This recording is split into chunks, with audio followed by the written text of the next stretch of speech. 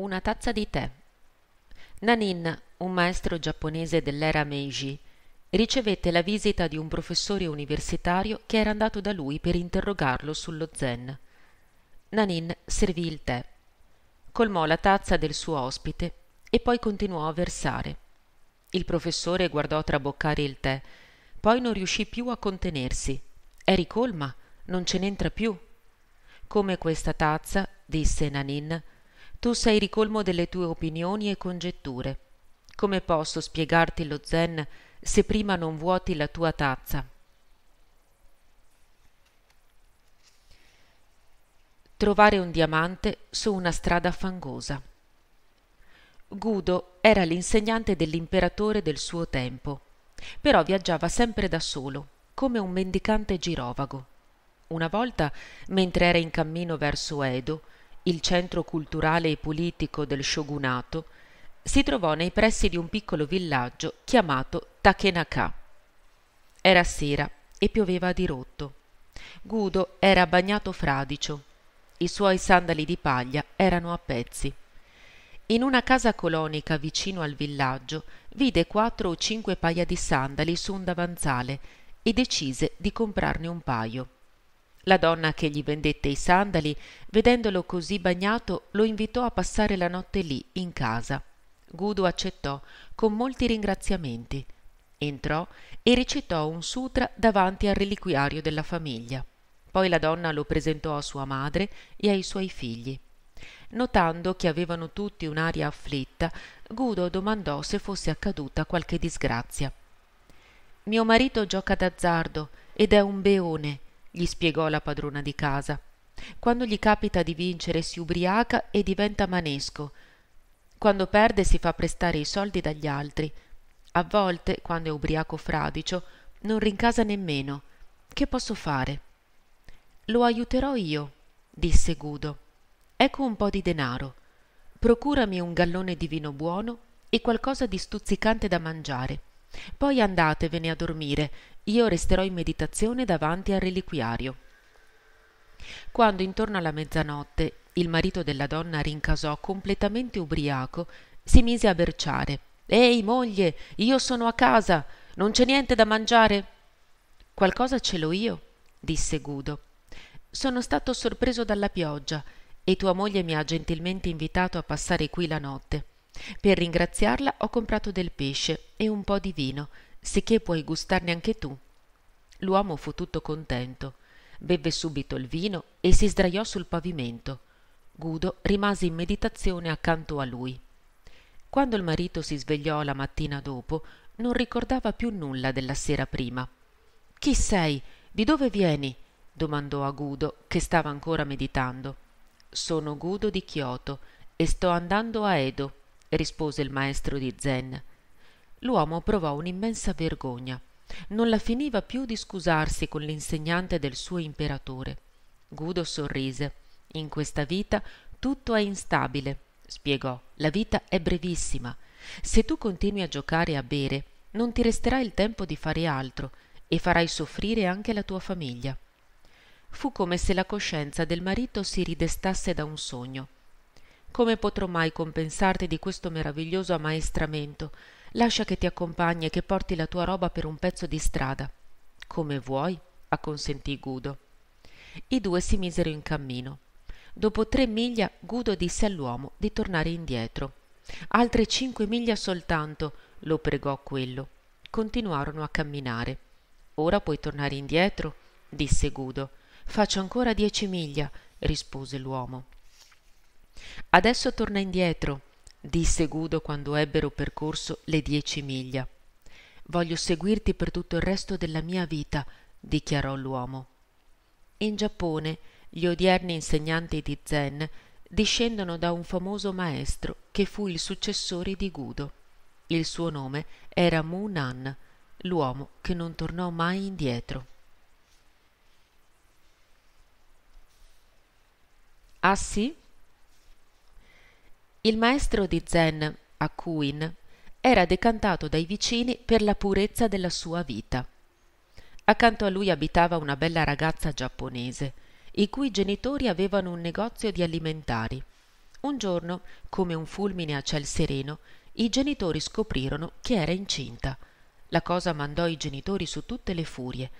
La ragazza non voleva confessare chi fosse l'uomo, ma quando non ne poté più di tutte quelle insistenze, finì col dire che era stato a Queen.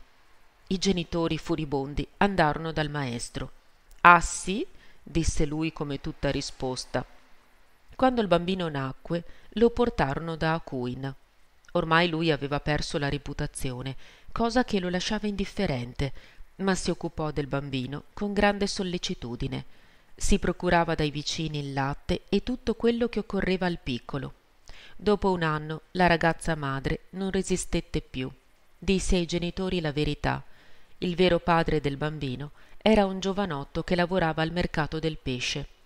La madre e il padre della ragazza andarono subito da Acuin a chiedergli perdono e fargli tutte le loro scuse e riprendersi il bambino. Acuin non fece obiezioni. Nel cedere il bambino, tutto quello che disse fu Ah sì? Obbedienza. Le lezioni del maestro Banchei non erano frequentate solo dagli studenti di Zen, ma anche da persone di ogni ceto e di ogni setta. Lui non citava i sutra, né si dilungava in dissertazioni dottrinali.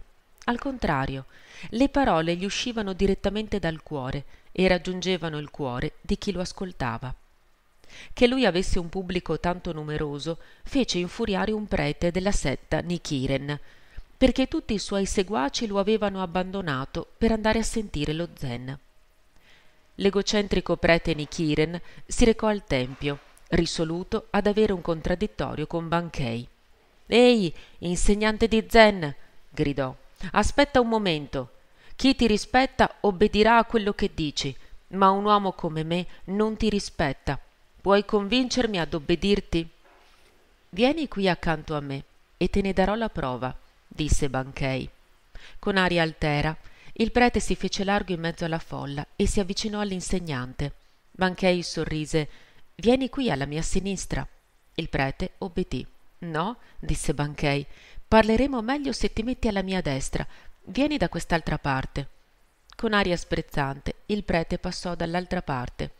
Come vedi, osservò Banchei, tu mi stai obbedendo e io trovo che sei veramente gentile.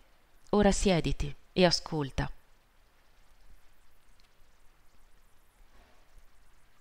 Se ami, ama apertamente.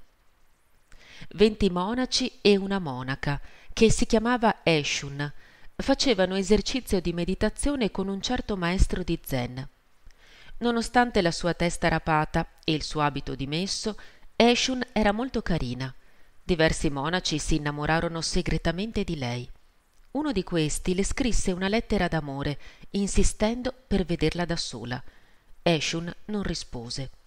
Il giorno dopo il maestro fece lezione ai suoi discepoli e alla fine della conferenza Eshun si alzò.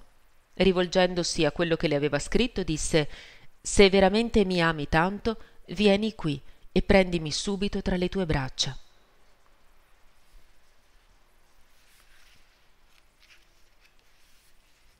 nessuna pietà. In Cina c'era una vecchia che da oltre venti anni manteneva un monaco. Gli aveva costruito una piccola capanna e gli dava da mangiare mentre lui meditava. Un bel giorno si domandò quali progressi egli avesse fatti in tutto quel tempo. Per scoprirlo si fece aiutare da una ragazza piena di desiderio. Va da lui e abbraccialo, le disse, e poi domandagli di punto in bianco e adesso? La ragazza andò dal monaco e senza tante storie cominciò ad accarezzarlo, domandandogli che cosa si proponesse di fare con lei.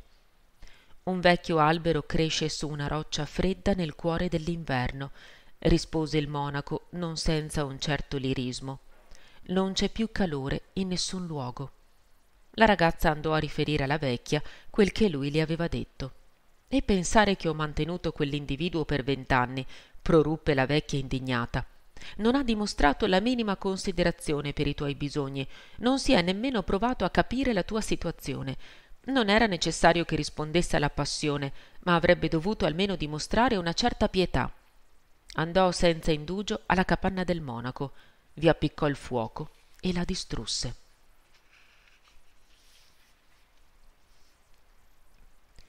Annuncio. Nel suo ultimo giorno di vita, Tanzan scrisse sessanta cartoline postali e incaricò un suo assistente di impostarle. Poi morì. Sulle cartoline c'era scritto Sto per andarmene da questo mondo. Questo è il mio ultimo annuncio. Tanzan, 27 luglio 1892.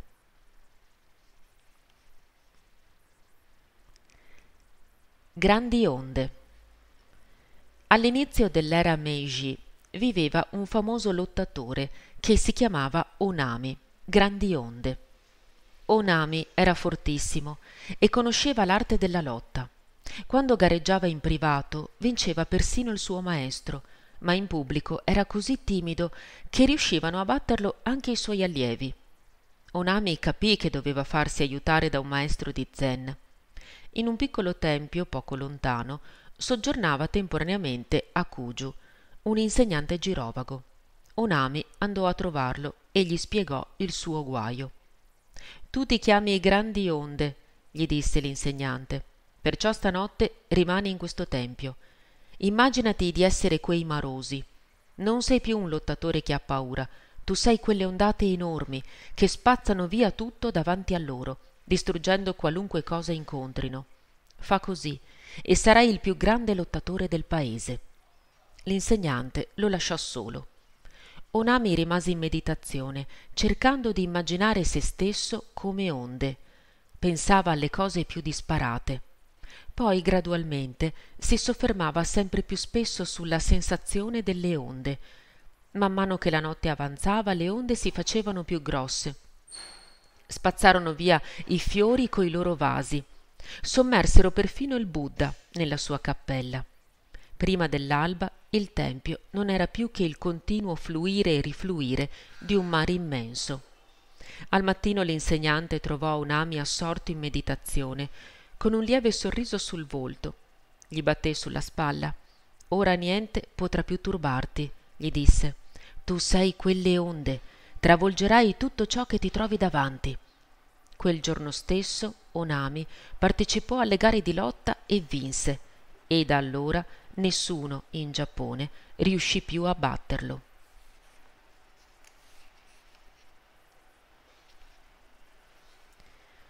Non si può rubare la luna. Ryokan, un maestro di Zen, viveva nella più assoluta semplicità in una piccola capanna ai piedi di una montagna. Una sera un ladro entrò nella capanna e fece la scoperta che non c'era proprio niente da rubare. Ryokan tornò e lo sorprese. Forse hai fatto un bel pezzo di strada per venirmi a trovare, disse al ladro. E non devi andartene a mani vuote. Fammi la cortesia, accetta i miei vestiti in regalo.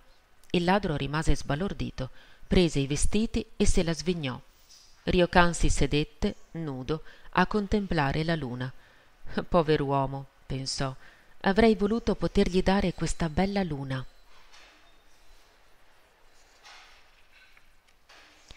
L'ultima poesia di Oshin.